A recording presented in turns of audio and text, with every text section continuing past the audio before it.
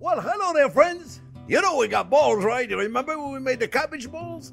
Well, now we got arancini balls. That's a beautiful rice ball stuffed with a bolognese sauce. Stay tuned. I'm going to show you how we make it. Remember, thumbs up if you like the video, subscribe to the channel, and don't forget to ring the bell. Stay tuned, friends. We're making those balls. They're delicious.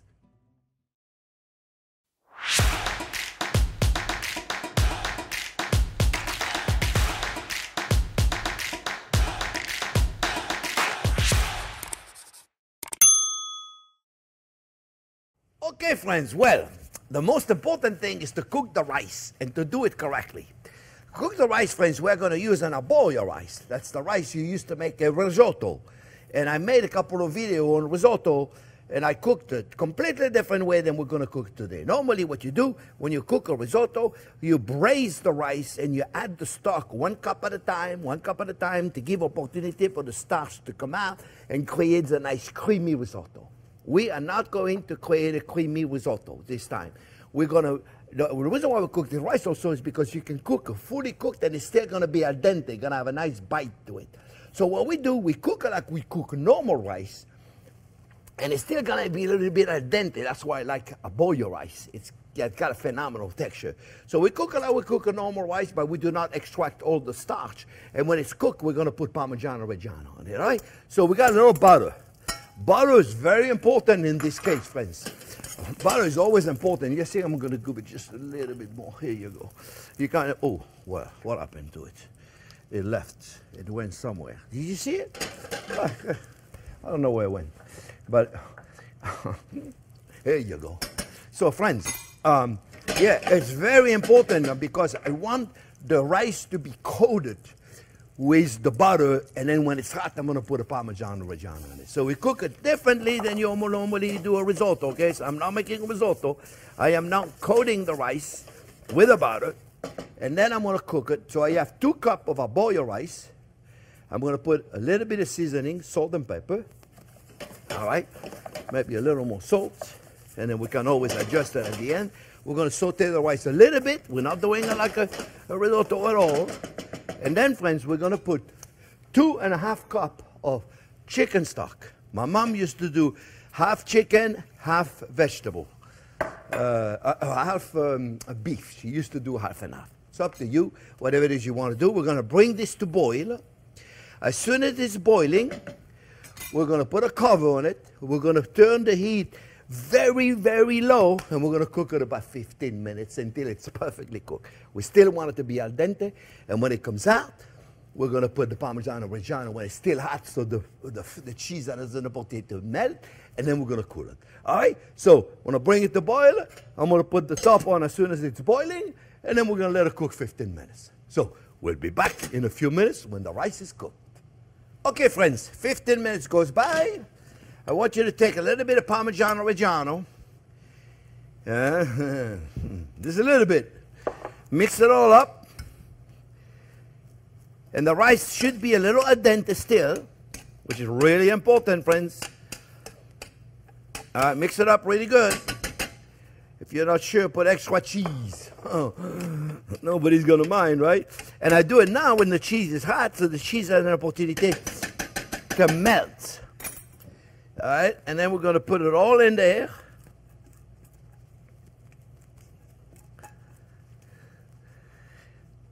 And then we're going to spread it, friends. So you'll have an opportunity to stop cooking, okay, which is really important, the stopping cooking right now, and cool. So I'm going to let the steam out first for like 10, 15 minutes and then I'll put it in the fridge because in order to make the bowls, we need to have it nice and, uh, and cold. All right, friends? Just wanted to show you the principle. Very simple. Everything I do is simple. All right? So we'll see you when the rice is cold and we'll make the bowls together. See you in a minute.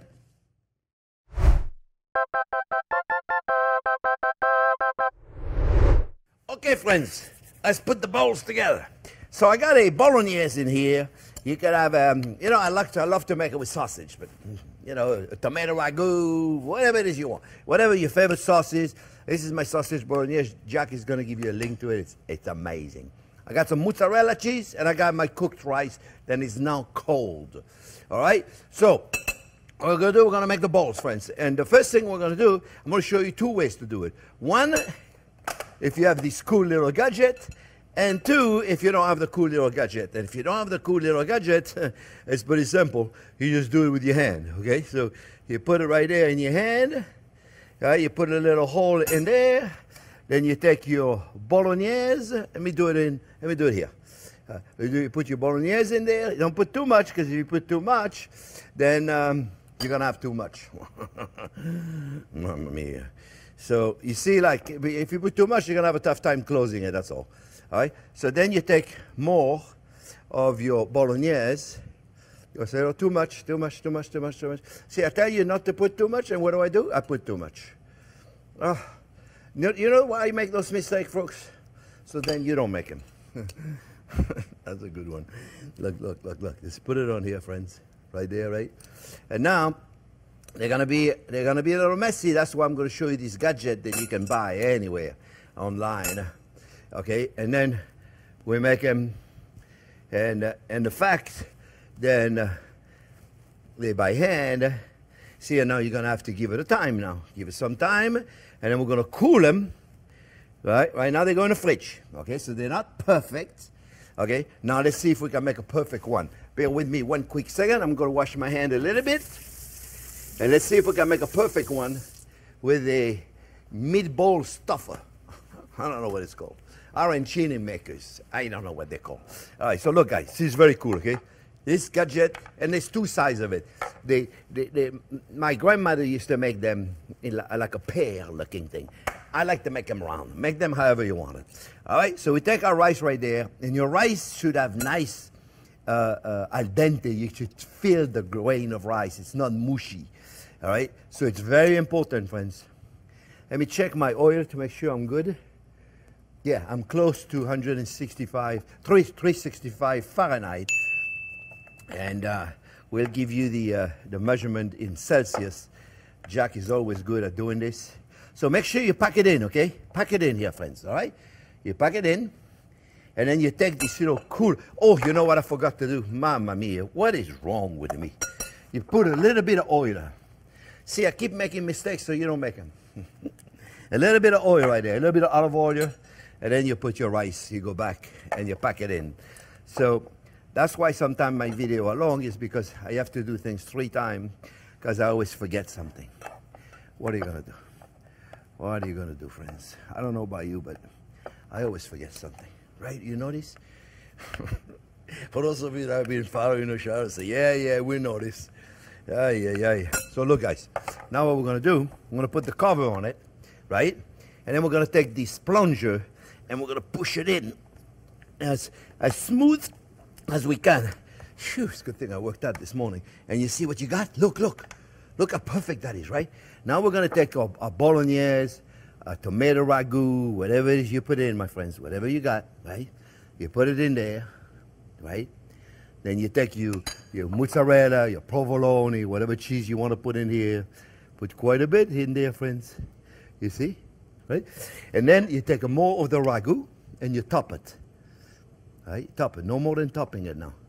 I say that, and you know, I always do extra. I don't know what it is. It's a thing that I got. I always put extra, right? And then you take your uh, your cool gadget, and then you top it with the rice. Top it. Top it right there with the rice. Now you got to put a lot at that point, friends. Okay? You got to put it in. And now you'll see how cool that is. Uh, uh, we'll put you a link where I bought it.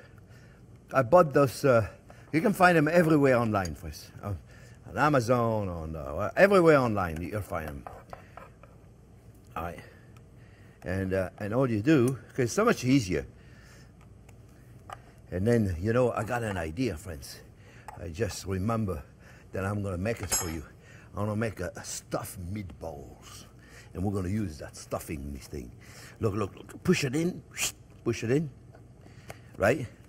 Let's get rid of everything. So we're out of the way. We can get rid of this, out of the way. So we clean, and then I'm going to remove it. All right? You know I don't like mess. I like my cutting board to be nice and clean. So now look, guys. So take it. If we have it, this is underneath. This is the end, right? And then because of the oil, come out perfect. Look. You see how perfect that is? See now, look, look. Not so perfect. Perfect. you see? It was pretty simple, right, friends? Okay, so now, now we'll put them in the fridge. At least a couple of hours before. And look what you got. Already made him. All right. So now, friends, we're going to put the, uh, the, the, the mixture on it. So, my grandmother used to make a mixture with flour and water, and, uh, and, and my mom used to do it with eggs.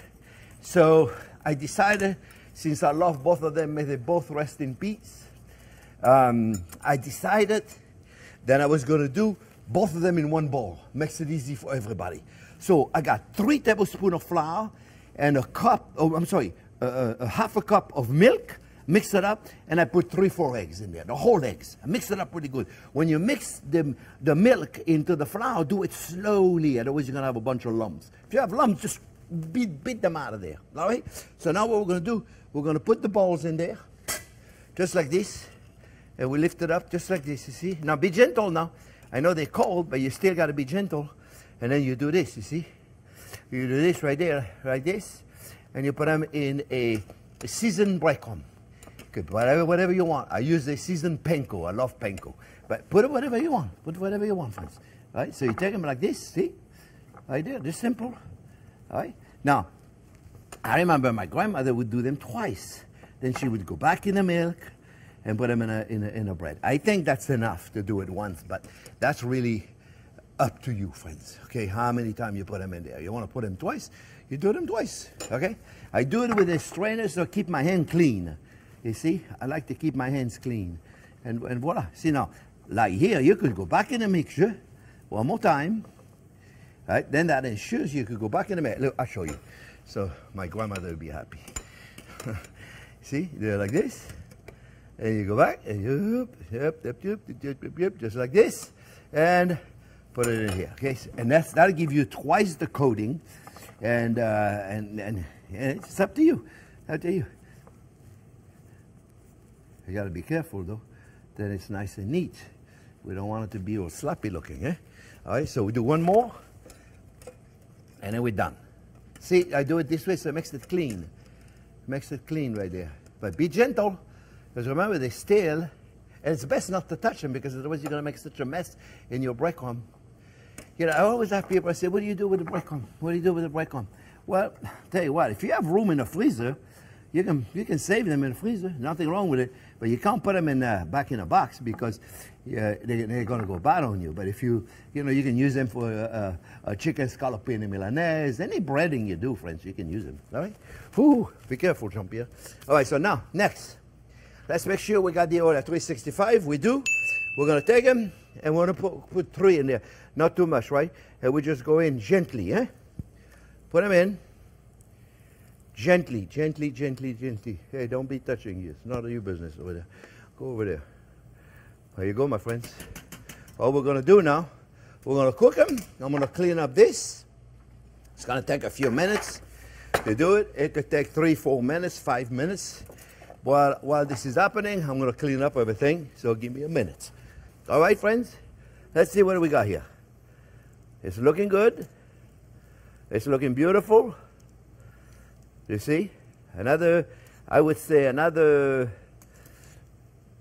15, 20 seconds. And then I'm to take him, I'm to put him on paper towels. So give me a couple seconds here, friends. It's looking good. So we're to take, look, see, they're beautiful. So how brown do you want them? It's really a matter of opinion here, right here, friends. Now, we have a flat side, and it's going to find itself on a flat side which is cool, so it makes it easy to cut them and everything, you see. So friends, I'm gonna let them cool for a minute, and then I come back, and I'm gonna serve them, and we're gonna cut into it. All right? So give me a few minutes just to let them cool.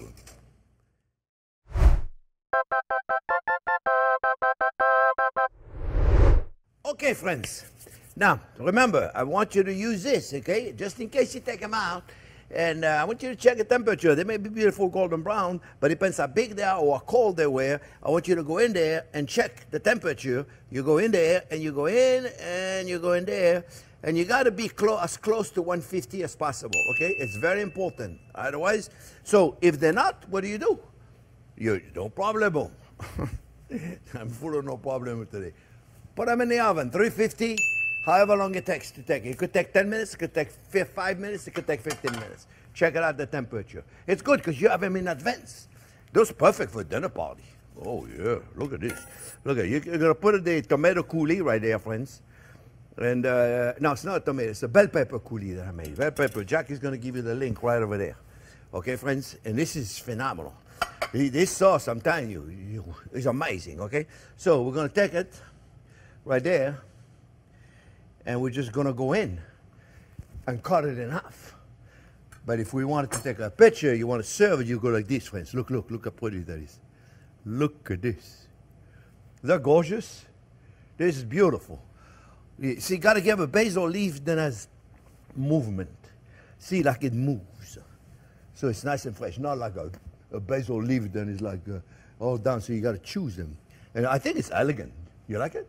I think it's elegant. All right, so now, out of here, you. I'm to cut it.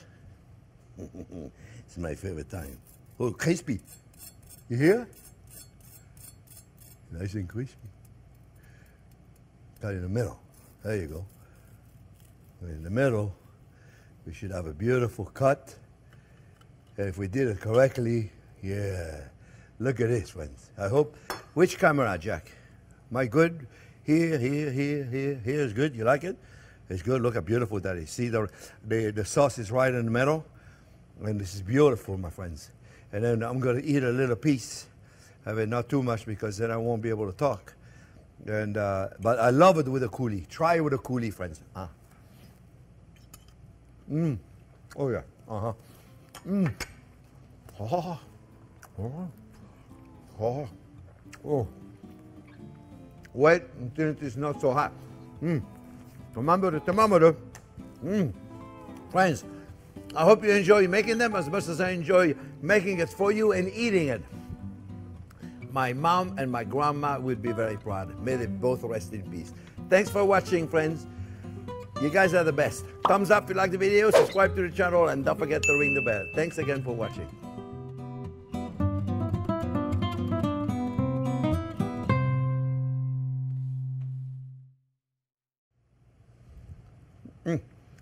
They're delicious. They're delicious. That basil leaf was phenomenal, wasn't it? Mm -hmm. Beautiful looking. Ah, this is so good with the bolognese. Yeah, this is perfect, isn't it? Beautiful cut. Oh, mamma mia. Make sure the camera's off. Mmm. Mmm.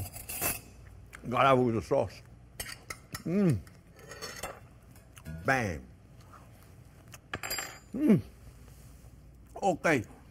Thank goodness I got the match.